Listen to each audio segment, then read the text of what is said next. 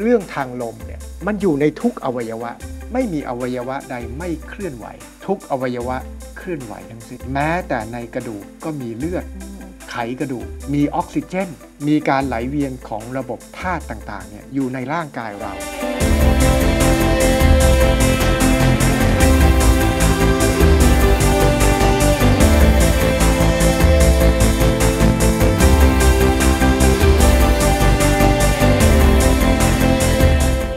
ำหรับประเทศไทยเนี่ยถือเป็นประเทศที่อยู่ในประเทศที่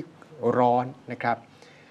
แล้วก็อยู่ในประเทศที่ร้อนชื้นด้วย ทั้งร้อนทั้งชื้นอยู่ตรงกลางเส้นศูนย์สูตรนะครับ ปกติประเทศที่มีลักษณะเอ่อน้ำร้อนล้อมรอบ และมีฝนเป็นประจำนะครับ โดยธรรมชาติเนี่ยก็จะเป็นโรคทางธาตุลมเป็นหลักค่ะประเทศไทยเป็นหนึ่งในนั้นนะครับ เขาบอกว่าถ้าจะแก้โรคทางลม ไม่มีอะไรดีเกินกว่าพริกไทยอืมนะครับ ทีนี้พริกไทยเนี่ยก็เป็นสะท้อนของรสเผ็ดร้อน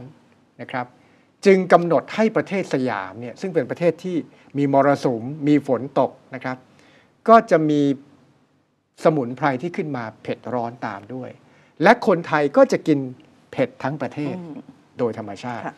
ถ้าจะเทียบกับประเทศใกล้เคียงกันเลย ตรงใกล้กับเส้นศูนย์สูตรนะครับ เราย้อนกลับไปตรงกันข้ามขั้วโลกเลยเม็กซิโกค่ะและแถบประเทศแถวแถวๆอเมริกาใต้ กินเผ็ดร้อนใช่เหมือนกันนะครับ อินเดียตอนกลางก็เผ็ดร้อนโดยรวมๆเหมือนกันนะครับ ทีนี้โรคทางธาตุลมเนี่ยเกิดขึ้นในประเทศไทยเนี่ยมาก เราก็เลยทำให้เราเข้าใจได้ว่าประเทศไทยเนี่ยจะมักจะมีอะไรก็จะโรคโทษโรคทางลมทั้งสิ้น นะครับลมนั่นลมนี่จนสมัยรัชกาลที่ 4 ท่านคงตรัสถามว่าไอ้ที่ 400 500จำพวกอะมันลมอะไรบ้างนะครับ จริงๆ ในคัมภีร์อายุรเวทนะครับในคัมภีร์อายุรเวทซึ่งเป็นของไทยนะครับ ก็ได้พูดถึงคัมภีร์หนึ่งในประเทศไทยที่มีการประยุกต์ใช้จากอินเดียแล้วก็ของไทยเนี่ยชื่อว่าอายุรเวทศึกษานะครับ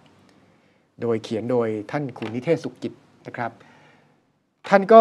บรรยายเรื่องเกี่ยวข้องกับโรคทางลมมา ได้นับได้เท่าไหร่รู้ไหมครับ 80 ชนิดอืมไม่ถึง 300เป็นคนถามโอ้ลม 300 จะพูดมาอย่างไงค่ะนะครับ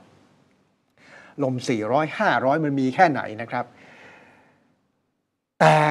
เรื่องทางลมเนี่ยมันอยู่ในทุกอวัยวะ เพราะอะไรรู้ไหมครับ ไม่มีอวัยวะใดไม่เคลื่อนไหวค่ะทุกอวัยวะเคลื่อนไหวทั้งสิ้น เคลื่อนไหวยังไง แม้แต่ในกระดูกก็มีเลือดอืมไขกระดูก ถูกไหมครับ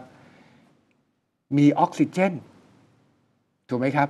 มีการไหลเวียนของระบบธาตุต่างๆเนี่ยอยู่ในร่างกายเรา ทุกอวัยวะก็มีสิ่งที่เคลื่อนไหวอยู่ ระบบภูมิคุ้มกัน ระบบหลอดเลือด มันจึงแทรกซึมอยู่ในทุกอวัยวะ ผ่านเลือดใช่ไหมครับ ก็เลยในตำราแพทยศาสตร์สงเคราะห์ในสมัยรัชกาลที่ 5 แล้วก็ทำ ในการเทิดพระเกียรติปี 2542 นะครับของพระบาทสมเด็จเจ้าอยู่หัวรัชกาลที่ 9 ก็เขียนเอาไว้เลยว่า เวลาเขานับให้ได้ 500อะอืมเขานับเลือดลมและเลือดผสมกันอ๋อทีนี้ ในตำราแพทยศาสตร์สงเคราะห์เนี่ยก็ได้ให้ความสำคัญตั้งแต่ปฐมจินดาคือโรคของเด็ก ไล่มาเรื่อยจนถึงโรควัยรุ่นนะครับ จนถึงวัยมีประจำเดือนของผู้หญิง โดยเฉพาะแล้วก็โรคของผู้หญิงโดยเฉพาะนะครับ แยกออกมาของธาตุต่างๆ ที่เปลี่ยนแปลงไป แล้วก็จะปิดท้ายในตำราแพทยศาสตร์สงเคราะห์ สมัยรัชกาลที่ 5 คือพระคัมภีร์กษัยค่ะคือว่าด้วยเรื่องของโรคแห่งความเป็นเรื้อรัง หรือถ้ายุคปัจจุบันก็คือโรคแห่งความเสื่อมอืมที่เป็นมานานนะครับ ก็จะต้องเกิดภาวะโรคกระใสทั้งสิ้น โรคกระใสนี่ไม่ได้แปลว่าโรคเกี่ยวข้องกับทางเพศนะครับ เกี่ยวข้องกับการป่วยเรื้อรังในหลายธาตุหลายชนิด ในพระคัมภีร์กระใสเนี่ยก็ต้องนับถึงมักจะเป็นอยู่ในกลุ่มผู้สูงวัยด้วย เสื่อมตามวัยเป็นมานานเรื้อรังมานานนะครับ ในธาตุที่ป่วยแล้วไม่ทันได้แก้ไขด้วยตำรับยาทั้งหลาย ก็ปรากฏว่าครัวพ่อชิมเนี่ยเวลาเราพูดถึงยาลม 300จำพวกนะครับท่านผู้ชมก็จะเข้าใจว่าเรารับประทานยา